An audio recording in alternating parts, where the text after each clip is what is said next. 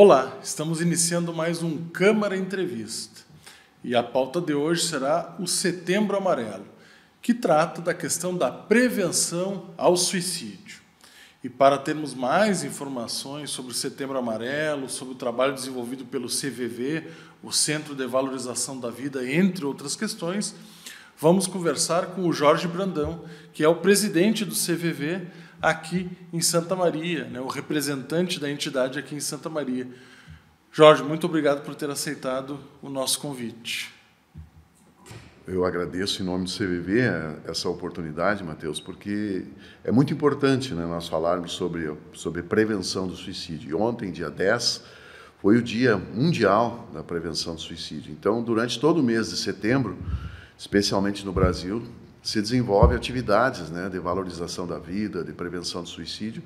E essas oportunidades são muito preciosas para nós, para a gente poder colocar esse tema que ainda é tabu né, e falar que realmente é possível fazer prevenção através da informação. Queria que o senhor, claro, muitas pessoas lhe conhecem, né? Mas eu queria que o senhor se apresentasse. É de praxe aqui do nosso programa, né? Pedir que o entrevistado se apresente para o telespectador, a telespectadora conhecer um pouco mais. Quem é o Jorge Brandão? Bom, é, eu sou um dos fundadores do CVV Santa Maria, que está completando 15 anos. Sou também responsável, sou porta-voz, responsável também, um dos responsáveis pela comunicação e principalmente sou voluntário. Né?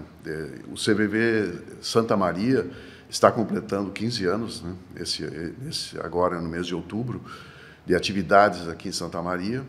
E nós somos hoje em torno de 45 voluntários né? que atuam aqui em Santa Maria, tanto através do telefone 188, né, como também no CVV Comunidade, né, com visitas à comunidade, a escolas. Né. Então, o CVV faz um trabalho de, quando tem essa oportunidade, né, de valorização da vida e prevenção do suicídio. Pois é isso que eu ia lhe perguntar, mas antes eu queria só é, saber de uma coisa. É correto dizer que o, senhor, o seu cargo é de presidente ou tem uma outra nomenclatura só para tem, gente? Tem uma outra nomenclatura, né? Eu sou fundador, sou porta-voz, mas existe um, um coordenador, que hoje é uma coordenadora, ele, ele, ele é um cargo que muda a cada dois anos, né? Ah, então, ele, a gente faz como se fosse um rodízio né, nesse cargo, né? Então, tem, é, são funções, né? Mas o mais importante é que todos nós somos voluntários, né? Sim. Então, eu acho que o correto, só para a gente corrigir, o senhor é porta-voz do... Porta-voz. Fundador, um dos fundadores Isso, e porta-voz do CVV, não claro. presidente, só para fazer essa correção para o telespectador e telespectadora que nos acompanha. Pois eu ia lhe perguntar, como é que é esse trabalho do CVV? Por exemplo, no atendimento do 188, uma pessoa liga lá, enfim, é, desmotivada da vida, com algum nível de, de ansiedade, de depressão, enfim, estou fazendo um cenário hipotético como é que atuam os voluntários do CVV? Bom, o, todos os voluntários do CVV recebem um treinamento né, para esse atendimento. Né? Nós temos um, nós chamamos de PSV, né, Plano de Seleção de Voluntários, que é um curso de 40 horas, onde a gente aprende, né, principalmente a escuta empática, né, a conversar, a atender as pessoas que nos procuram com respeito, sem preconceito, com acolhimento, né, é, então, é, nesse momento né, que a pessoa liga para o CVV, e as ligações tem, são de diversos motivos, né? as pessoas ligam porque estão solitárias, ligam para poder desabafar, ligam até às vezes para contar algo bom que aconteceu com eles, né, que não tem com quem conversar. Né? Então, agora a ligação prioritária, claro que a gente dá uma atenção muito especial mesmo, essa, essa quando a pessoa já liga né, dizendo, olha, eu estou conversando com você, já tomei uma decisão aqui e tal.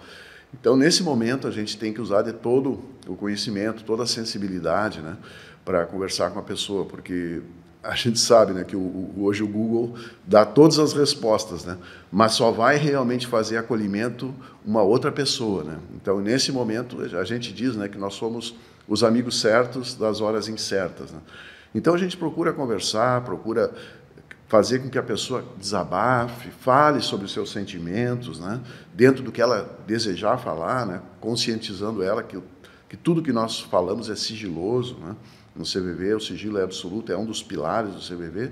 Então, é, nesse diálogo, né? nessa escuta, é, a gente vai, vamos dizer assim, descomprimindo essa tensão. A gente procura fazer esse apoio emocional, que é isso que o CVV faz né, que é diferente de um, de um, trabalho profissional, de um psicólogo, um psiquiatra. Né?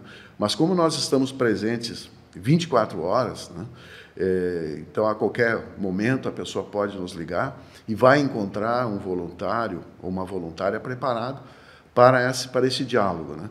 Então, vou citar um, por exemplo, né, às vezes a pessoa conversa com a gente durante duas, três horas, né? e no final ela nos diz assim, olha, eu, foi muito bom a gente conversar, eu quero te agradecer os conselhos que tu me deu, né? quando na verdade CVV não dá conselhos. Né? Acontece que quando tu consegue alguém que te acolha, que te escute, né? E, que tu te sinta realmente envolvido, abraçado por essa pessoa e que tu coloca para fora o que tu está sentindo, tu consegue é, reorganizar os teus pensamentos, né? Tu consegue ver o que tem dentro de ti né? e tu consegue ver por, outro, por novos ângulos, né? Porque às vezes tu está com uma ideia fixa, né? De, de uma ideia fixa, vamos dizer, só tem essa solução, né? só tem esse caminho. E quando, quando tu consegue ser acolhido e conversar, isso, isso muda. E é importante dizer, Mateus, que todos nós podemos fazer isso, né? Todos nós. A sociedade hoje vive um mundo muito virtual, né? E as pessoas têm conversado pouco, né? Então, é, o nosso fundador sempre dizia que nós vivemos numa sociedade de surdos, né? Então, as pessoas não têm tempo. Então, ter tempo para alguém é muito importante. Né? Isso é um dos objetivos do Setembro Amarelo também. Uhum. Nós vamos chegar nesse ponto. Eu queria saber também como é que é o trabalho feito nas comunidades, nas escolas, por exemplo. É um trabalho também de, de explicar como funciona o CVV, também trabalhar o suicídio. Como é que é esse trabalho comunitário que a entidade faz? Nas escolas, o trabalho é feito normalmente com os professores, né, com a direção da escola. Né, a gente conversa, eles passam casos que estão acontecendo, né, as dificuldades da escola. A gente procura ouvir também eh, esses professores que, que são sobrecarregados, né, com demandas né, com atenção muito grande do dia a dia. Aí nós temos também o Cine que, é um, um pequena, um, são pequenos filmes que a gente passa e depois faz um debate, filmes que sempre têm um sentido, um significado. Né? Então temos diálogo, as pessoas podem conversar, podem desabafar. Né? É, isso é, é, muito importante, né? esse olho no olho, estarmos juntos com a comunidade, tanto sempre que nós somos chamados, convidados, existe um departamento do CVV, que é o CVV Comunidade, que faz esse trabalho. O senhor falou que é um dos fundadores da entidade. Há quanto tempo né, existe o CVV aqui em Santa Maria? Há quanto tempo o senhor desempenha esse trabalho voluntário? Aqui em Santa Maria, agora em outubro, são 15 anos. 15 anos que eu, eh, sem interrupção que eu trabalho no CVV, né? No Brasil são vai fazer 63 anos agora, também sem interrupção. O CVV é uma das ONG, uma organização não governamental mais antigas do Brasil, junto com a PAI e a A. Né? São as três organizações que existem no Brasil mais antigas, sendo que o CVV, né, completando 63 anos, sem interrupção, é considerado a mais antiga. Sim. É, como é que é o Setembro Amarelo? Né? As, as pessoas muitas vezes né, podem, podem se confundir de alguma forma, né? porque é, há algum tempo a gente vem denominando, dando cores aos meses, né, para designar algumas atividades. Queria que o senhor, é, para designar algumas atividades, né, algumas ações que devem ser feitas com relação a algumas temáticas. Com relação ao Setembro Amarelo, qual é a proposta, qual é a intenção do Setembro Amarelo?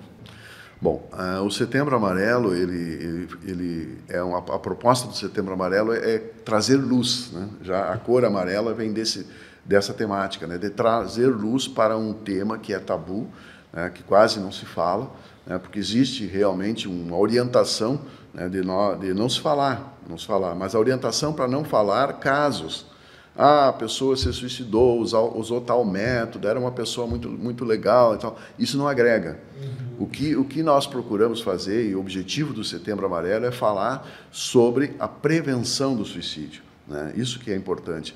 Porque como é que nós sabemos hoje, por exemplo, como se previne, é, vamos dizer, a dengue?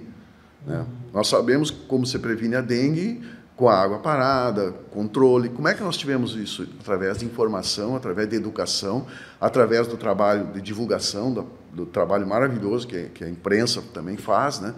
E assim, assim também o suicídio. Então, o Setembro Amarelo vem trazer luz a essa temática, dizendo que sim, Não todos, é claro, mas muitos casos podem ser prevenidos. E como pode ser prevenidos? Né? Através da atenção que nós podemos dar uns aos outros. Né? Então, é, essa atenção é muito importante para a gente perceber né, quem está próximo de nós, perceber que aquela pessoa, por exemplo, está em conflito consigo mesmo, com a vida, né, e nós temos técnicas, vamos dizer assim, simples, né, que podem auxiliar muito nesse trabalho. Né? Pois é, então já vou aproveitar e, e, e dar sequência a esse tema, vou lhe emendar uma outra pergunta.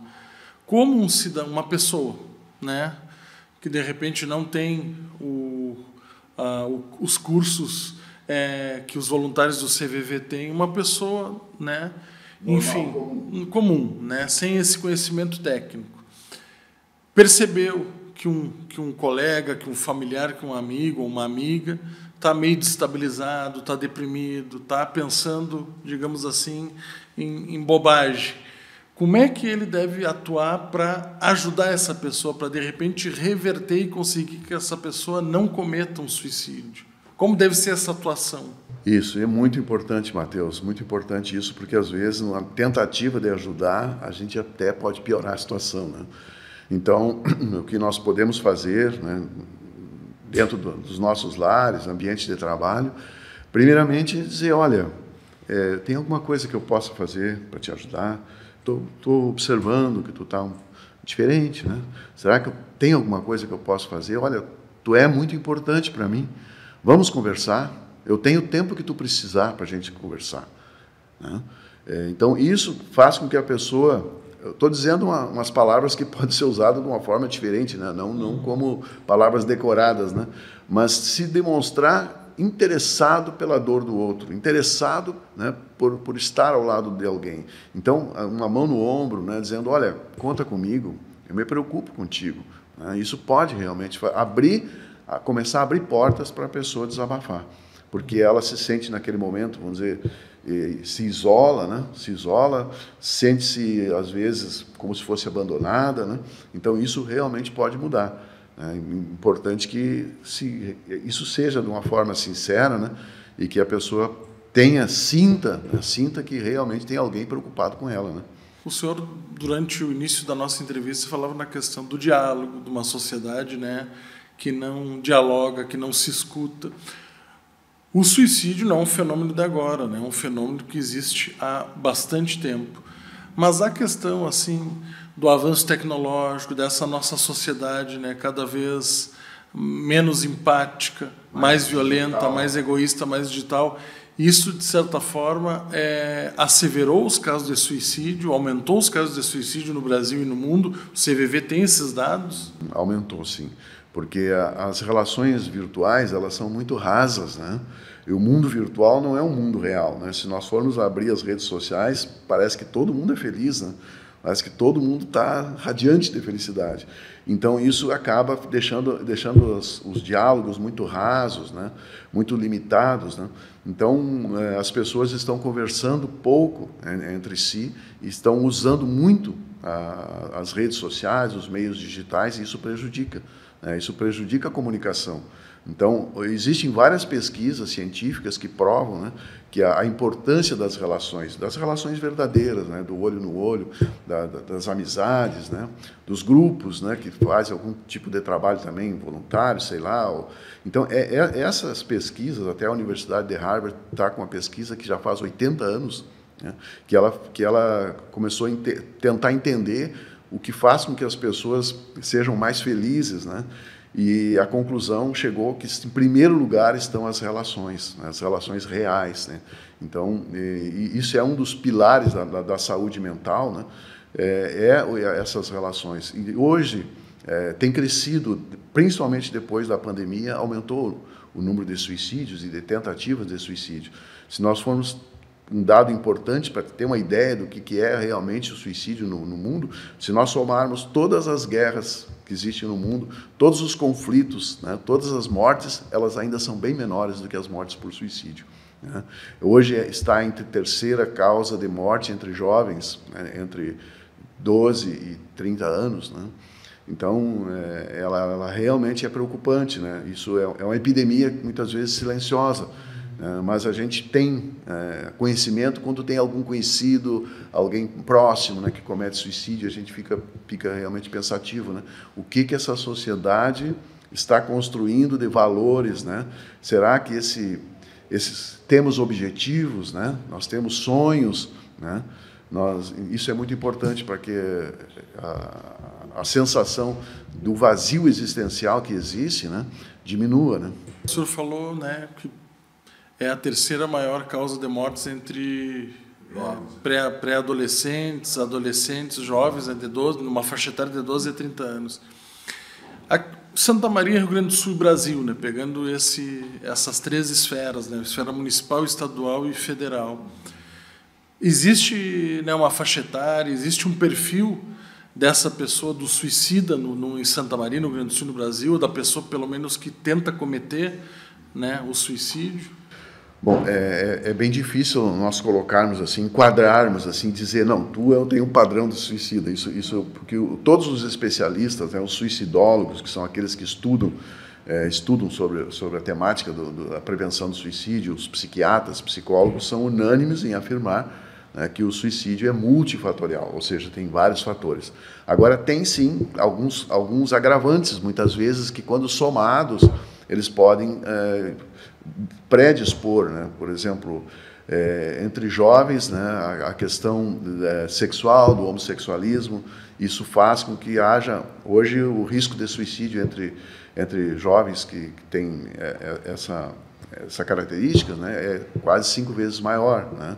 É, jovens que, que têm dificuldade de, de diálogo com os pais, né? É, jovens que têm dificuldade de ter um, um, objetivo na vida, um sonho, né? Pessoas, por exemplo, muito rígidas, inflexíveis, né, que têm dificuldade de, de, de se flexibilizar diante das situações. Né? É, então, é, pessoas que trabalham em vários setores, né, às vezes com, sob muita pressão. Né? É, então, existe um nível de suicídio alto também na medicina, existe na, nas Forças Armadas. Né? Então, isso, isso é, é muito amplo, né? mas sempre que se, se tem cara, algumas características que podem realmente influenciar a dependência química.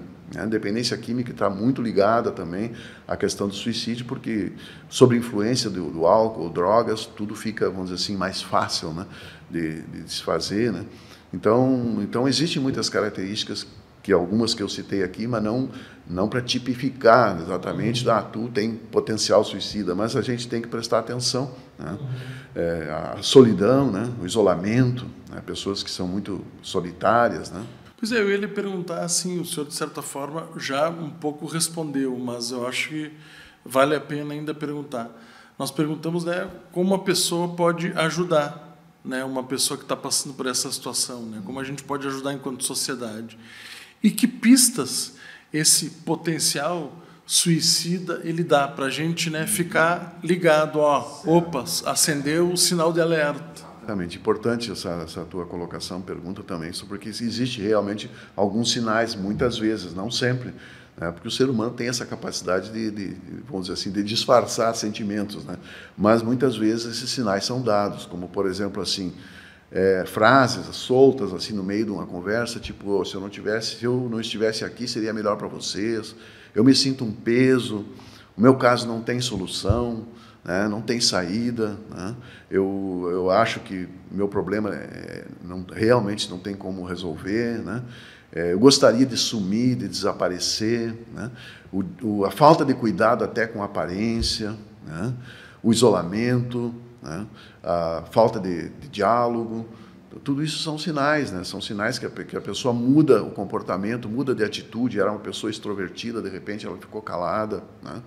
Então, são sinais que são dados, sim, e nós, na nossa correria né, do dia a dia, a gente às vezes, muitas vezes, não percebe. Né? Presta atenção. O senhor falou numa faixa etária né, que me chamou a atenção, de 12 a 30 anos, e também na questão do, desse mundo corrido que nós vivemos e, e com ainda o agravante né, do ponto de vista negativo, né, não que a tecnologia seja só negativo, né, ela tem as suas questões positivas, mas também no uso exagerado ela pode gerar uma, uma é, gerar comportamentos e questões negativas para os seres humanos, né? Como que orientação o CVV dá, por exemplo, para pré-adolescentes de 12 a 15 anos e para as pessoas em geral com relação ao uso da tecnologia? Está toda hora no Instagram, no WhatsApp, no Facebook, enfim. Bom, é, o celular tem um dispositivo que dá para a gente ver quanto tempo a gente fica nas telas, né? Isso quando, quando a gente olha a gente mesmo se surpreende, né? Mas será que eu fiquei tanto tempo assim? E, e é hoje é, é, algo que ocorre muito. Então é importante, principalmente para os adolescentes, né? Crianças e adolescentes que estão na fase de formação, de ter limites, né? Dos pais colocarem dentro do próprio aparelho tem uma possibilidade de colocar ali limites de tela, né? Então esse limite tem que ser respeitado. E, e impor limites dentro do, da, da, família, da sociedade, é muito importante, né? porque hoje os adolescentes, os jovens ah, acham, muitas vezes, como quando não tem limites, eles acabam achando que tudo pode. Né? E quando entra na, na, na, na parte real, na vida real, há um choque de realidade. Né? Porque nas telas tu pode tudo, tu pode ser um super-herói, tu pode uh, fantasiar muitas coisas, né? tu pode te iludir com, com o que, tá, que está na tela, né? mas na vida real é diferente. E a sociedade, a família é um laboratório. Então, pequenas frustrações precisam acontecer com esses limites, né? porque quem ama coloca limites. Né? E os pais, sobrecarregados também, às vezes não percebem né? que isso está acontecendo. Então, é importante que hoje também as escolas estão fazendo essa proibição né, da, do uso do celular dentro das escolas, isso é muito importante. Né? Não que o celular, como tu disse, não é que a tecnologia seja bandida, mas se nós não soubermos, tudo que a gente não, não usar bem pode vir contra nós. Né? Então não é só a questão da tecnologia, mas isso também é uma fuga, muitas vezes, né? da falta de valores, da falta de princípios, da falta de ter um sonho. Né? Então, isso é muito importante. Né? E para as pessoas adultas, por exemplo, também procurar maneirar, procurar ter um, ter um, ter um horário para utilizar, não utilizar né, de forma indiscriminada. É, porque isso, isso causa um certo isolamento. Né? Quando tu começa a ficar só na, com as telas nas redes sociais, tu acaba te isolando e, e não, não tendo oportunidades de contatos reais. Né? Então, é claro que o, que o, que o celular tem um papel, a tecnologia tem um papel também, muitas vezes, de informação, né, de busca de informação, de, de, de, são muitas coisas boas, mas tudo tem que ter limite. Né? Com relação à programação agora do Setembro Amarelo, o CVV vai realizar uma série de atividades, tem uma programação já definida para esse mês? Bom, o CVV, eh, no Setembro Amarelo, ele aproveita oportunidades né, como esta que nós estamos aqui, quando sempre que a gente é chamado em instituições, em empresas, em escolas, né, eh, em organizações, a gente vai. Né, nós temos essa, uma equipe que, que é também preparada para isso e a gente procura atender a todos esses compromissos, que essas portas né, que se abrem no, no mês de setembro. Então, eh, não existe assim uma programação de rua, vamos dizer assim, isso de, de, estar na rua distribuindo panfletos, isso o CVV não, não tem feito mais. Mas nós deixamos né, o material, até vou deixar aqui um material aqui na Câmara, alguns cartazes, alguns folders, para que alguém quem queira ter acesso né, essa distribuição de material, a gente, dentro das possibilidades, né, a gente faz. É importante dizer aqui também que nós, voluntários, né, nós, nós não temos nenhuma uma ajuda, né? Nós trabalhamos com nossos próprios recursos, então a gente tem que produzir material, a gente tem que se deslocar. Né? Então, então, isso, claro, a gente faz isso com, com muito amor, mas é, nós somos limitados. Às vezes a gente não consegue atender todas as demandas que, a, que surgem no Setembro Amarelo. Todo mundo pode ser voluntário. Como é que uma pessoa, por exemplo, interessada pode fazer para ser voluntário? Exige um nível de, de conhecimento, um nível de é, acadêmico ou qualquer pessoa interessada pode é, é ser voluntário do CVV? Bom, para, para ser voluntário do CVV é preciso ter, ser maior de 18 anos, né? ter uma disponibilidade para fazer um curso, que é em torno de 40 horas, que é um curso de preparação, né? ter disponibilidade para fazer os plantões, né? que são, são plantões semanais, também reuniões mensais de, de atualização. Né? Então a pessoa tem que ter, achar esse tempo disponível, ela tem que ter um certo equilíbrio emocional, né? lógico, porque é um trabalho que lida com, com, com a, a, dor do outro muitas vezes. Né? Então a gente todo esse preparo é passado né? durante o curso. Então, quando se faz esses cursos de preparação, a pessoa que entra no site cvv.org.br tem uma aba ali que diz seja voluntário. Ela se inscreve e depois ela vai ser feito um contato com essa pessoa para, para que avisar o dia do curso. Né? Então, o que acontece normalmente num, num, curso de preparação? A própria pessoa ela vai percebendo se ela realmente tem é, está preparada ou tem condições de se preparar para isso. Né? É um trabalho que exige, né, exige, vamos dizer, uma dedicação muito grande, né, porque é, não, não, é, com todo respeito a todos os trabalhos voluntários que são maravilhosos, né, mas é diferente de tu entregar uma cesta, né, ir lá entregar uma cesta, que é um trabalho muito muito bonito, do tu, que tu tocar uma alma humana, né, e uma, uma alma que está, uma pessoa que está com sensibilidade, que precisa realmente de, de vamos dizer assim, de acolhimento, né? Então existe um perfil, um perfil que é buscado para isso, né? E com relação, por exemplo, à questão do, do, do, acesso, né? Como o cidadão ele pode acessar o CVV? Nós falamos aqui do, do telefone 188. Esse é o único canal ou existem outros canais que o cidadão que necessite do trabalho da entidade possa entrar em contato com vocês? Certo. O principal canal é 188, né, que é um telefone que é gratuito, funciona 24 horas e qualquer cidade, qualquer lugar do Brasil pode ligar. Uh, nós temos também, através do, do nosso site, cvv.org.br, o chat, onde pode-se digitalmente ali conversar, através da, da, porque muitos jovens usam também esse, esse meio de comunicação do chat, né? porque é, é, é habitual do jovem, né? às vezes em função até do WhatsApp, que ele tem facilidade, usa. Mas o canal principal é o 188. E é importante dizer né, que nosso trabalho, toda pessoa que liga para o 188, ela cai numa central que está em São Paulo. E essa central, ela redireciona a ligação para aquele voluntário ou aquela voluntária que está de plantão. Então, dificilmente quando tu ligar aqui de Santa Maria, as pessoas que ligam, elas vão ser atendidas por pessoas de Santa Maria. Elas vão ser atendidas lá, Brasília, Fortaleza. Às vezes até pode acontecer, mas, mas é mais difícil, porque essa central ela, ela é automática e ela direciona, né? Então, é, às vezes tu liga, principalmente à noite, madrugada, que tem menos voluntários, né? tem que demora um pouquinho, né? Diz, olha, você está na fila, você é o número 50, né? Mas isso acontece à medida que for desocupando voluntários, a pessoa vai ser atendida, né? Pois é, uma outra questão, né, que agora chamou, me chamou a atenção. Existe um horário durante o dia onde tem um pico maior de ligações? Uhum. Bom, uh, o pico maior de ligações até é à noite, né? Normalmente é à noite, fim de semana também, né? Mas durante o dia eh, nós temos mais voluntários trabalhando, né? Durante o, dizer, o horário comercial, assim, nós temos mais voluntários, então a ligação é atendida de forma mais rápida. Né? Então, a dificuldade do CVV hoje é normalmente à noite, fim de semana, feriado, né? que a gente não tem, às vezes, uma, uma, uma, quantidade tão grande de voluntários, né? Mas as ligações ocorrem todo, todo, a todo momento, né? E é importante também, aproveitando essa oportunidade, dizer que nós recebemos ligações de todas as idades, de todas as classes sociais, de todas as pessoas que, que precisam conversar, se sentem solitárias, né? Então, é, é não, não, todos nós somos, somos preparados para esse diálogo, né? E o atendimento é 24 horas, todos os dias do, da semana. Todos os dias, seja, seja feriado, seja fim de semana, sempre o atendimento é 24 horas.